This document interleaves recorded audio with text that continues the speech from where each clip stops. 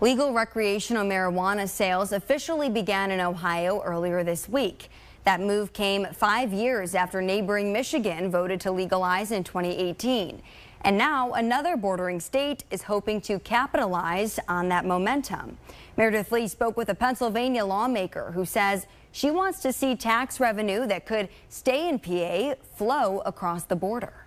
A Pennsylvania representative is co-sponsoring a bill to legalize recreational marijuana that could be introduced in the coming weeks. Despite repeated support on the issue by Governor Josh Shapiro, Pennsylvania has not taken it to a vote. The only state that touches Pennsylvania that has not legalized at this point is West Virginia.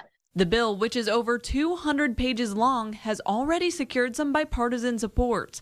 While similar to an earlier proposal that stalled in Congress, the new bill addresses concerns including public safety, consumer protection, criminal justice reform, and advertising.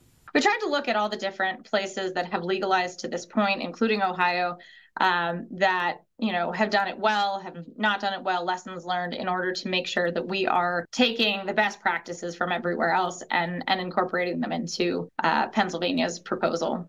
Kinkead says Ohio's speedy rollout of regulations and sales set the bar for Pennsylvania's plans and hopes the incentive to keep revenue within the state could inspire new momentum in Congress. We're, you know, putting ourselves in a position where taxpayer dollars are going to go into Ohio like they have been into New York, like they have been into Maryland and New Jersey. Um, and, you know, Pennsylvania just needs to catch up. With more local news, I'm Meredith Lee.